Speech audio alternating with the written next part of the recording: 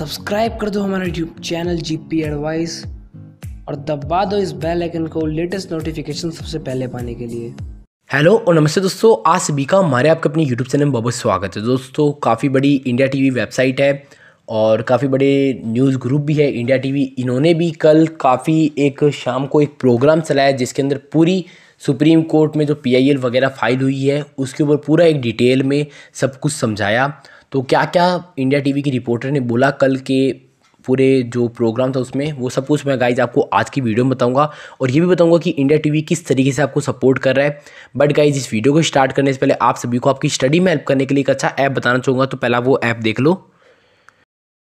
आठ चार सौ चार सौ चार सौ, जी हाँ याद कर लीजिए व्हाट्सएप नंबर, क्योंकि अब चाहे आपके मैथ का सवाल हो या फिजिक्स, केमिस्ट्री, बायोलॉजी का, आपके हर डाउट हर क्वेश्चन का आपको मिलेगा तुरंत वीडियो सॉल्यूशन वो भी आपके व्हाट्सएप पर।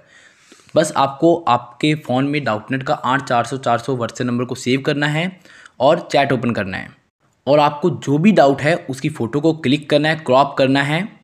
बस पाँच सेकंड में आपको वीडियो सॉल्यूशन मिल जाएगा। क्लास सिक्स से लेकर ट्वेल्थ तक IT JEE mains NEET CBSE board और सभी स्टेट बोर्ड के सॉल्यूशन आपको इस व्हाट्सएप नंबर पे मिलेंगे।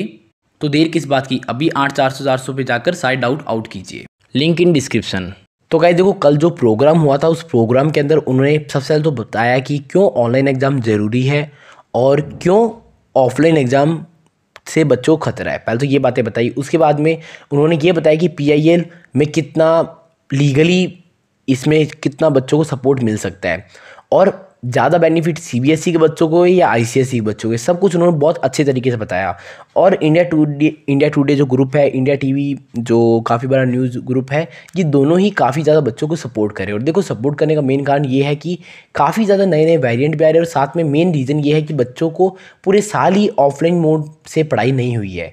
तो ऑनलाइन मोड से अगर बच्चों के एग्ज़ाम हो जाते हैं तो बच्चों को बेनिफिट ये होगा कि देखो टर्म टू के अंदर टाइम कम होगा बच्चों के पास स्टडी करने के लिए। तो टर्म वन में अगर बच्चे अच्छा स्कोर कर लेते हैं तो बच्चों के रिज़ल्ट में भी काफ़ी बेनिफिट होगा। तो कहीं ना कहीं काफ़ी बेनिफिट है, इसलिए बच्चों को काफ़ी सपोर्ट मिल रहा है। इंडिया टीवी के जो रिपोर्टर है, वो भी काफ़ी ज़्यादा बच्चों को सपोर्ट दिखा रहे हैं। तो ये देखे काफ़ी अच्छा लगा। और मेरे को इतना उम्मीद हो रही है अब कि कहीं ना कहीं आपको बहुत जल्दी अच्छी न्यूज़ मिल सकती है। तो कहीं आज की वीडियो में इतना ही। अपने फीमेल लीग नेक्स्ट वीडियो में। तब तक आ सही घर पर सेफ़ रहो।